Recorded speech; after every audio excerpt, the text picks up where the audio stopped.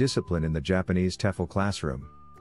My experience in teaching English to young learners is based in Japan. At the start of my time teaching, my student group consisted of two children of the same family.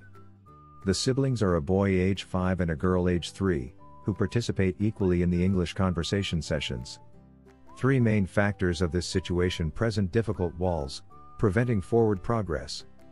Those three factors are distracting objects, counterproductive classroom philosophies, and personality conflicts. Lesson duration considering the age. First, the English conversation takes place in the children's home and playroom, which is full of toys.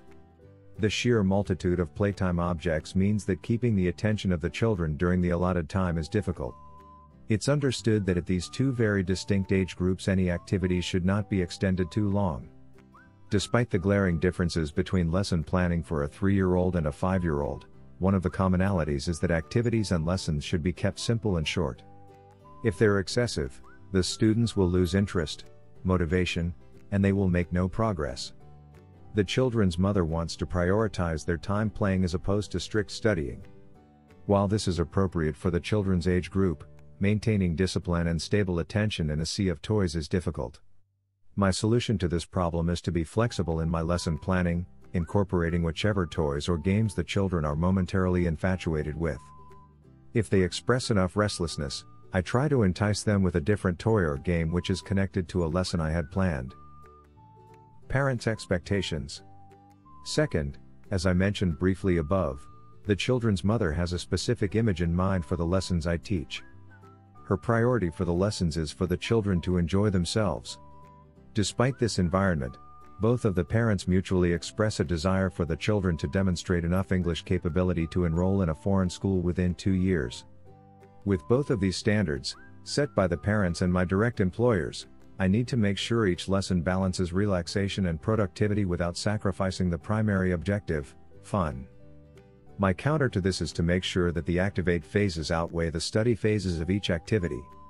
During the study phases, I prioritize group work where the 5 year old and the 3 year old complement each other's strengths. As often as possible, I create games which have a dynamic of the two of them working together to solve puzzles, or play creative games as a team while I role play an opposing force. During the games and puzzles, I try to elicit English from them both. Where one struggles with English, I ask the other to help without spoiling the answer. Of course, this is one specific example of the general structure I use to overcome the playtime focus imbalance dilemma. Classroom communication. Third, the most difficult to overcome issue impeding progress in our classes is the personality and maturity conflict between the two children of the class. I am tasked with addressing both children simultaneously, lest one become jealous or disengaged and cause upset. The five year old boy is shy and easily irritable, still in the swings of the mind developmental stage.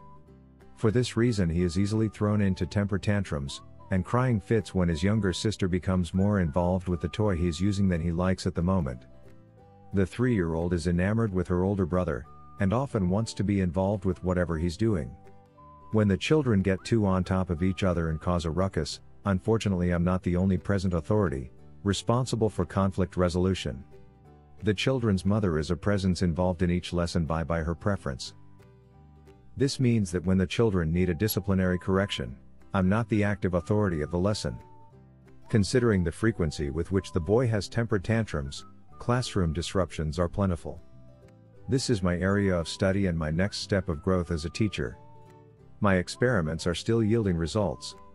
I'm working on learning how to attract the children's attention during their disputes, create equal shares of playtime with the toy of the moment, and moving beyond conflict to the next game or activity which will distract the children, and encourage them to forget their conflicts. There is room for improvement in this section of the job. Do you want to teach English abroad? Take a TEFL course today. Properly managing discipline in the classroom is a challenge which every teacher must learn to conquer. Regardless of whether the setting for the lesson is a traditional classroom or an in house playroom, a teacher must be prepared to keep the students engaged and under control while the lesson is in action.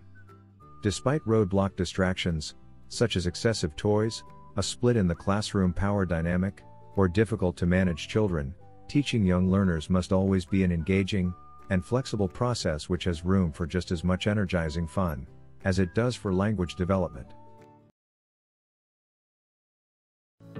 Thanks so much for watching. We are ITTT, the leading provider for TEFL and TESOL training courses. If you liked this video, please subscribe by clicking that button down here and click on any of the videos here on the left for more interesting teaching tips for getting certified to teach English abroad and online.